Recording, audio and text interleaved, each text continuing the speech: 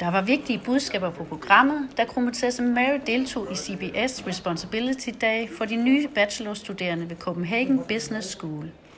Dagens tema var ansvarlig ledelse, som kronprinsessen talte udførligt om i sin velkomsttale til de unge. Under den flere minutter lange tale kom kronprinsessen også med et eksempel om emnet fra sit eget familieliv. Syvårige prins Vincent havde nemlig på vej til skolen fortalt, at han havde set en af sine fars venner smide et cigaretskod ud i havet. Det brød han sig ikke om, for det ville forurene og kunne skade fiskene. Men han behøvede ikke sige noget til vedkommende, for det havde kronprins Frederik allerede gjort.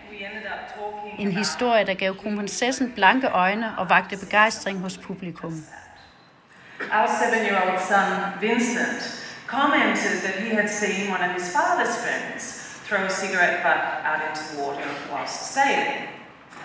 And that it was wrong because not only would it pollute the water, but if a fish ate it and then a shark ate that fish, then the shark would get sick.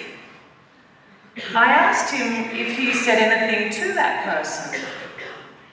He answered, no, because Dad did first.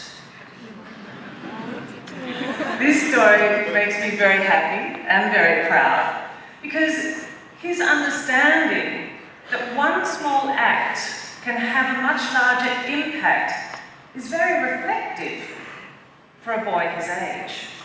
He felt a responsibility to act on the level of knowledge that he possesses as a seven-year-old. For kronprinsessen havde det været en rigtig god oplevelse at deltage i arrangementet.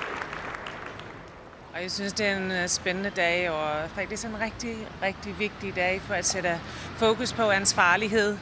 Um, det er fremtidens øh, leder og erhvervsleder, og de har en vigtig rolle at spille i vores øh, uh, allesammen samfundsudvikling, både lokalt, men også globalt. Så det er en fantastisk fokus at sætte, sætte på det første, første universitetsdag. Tusind tak. Billedbladet, Danmarks Royale Ugeblad.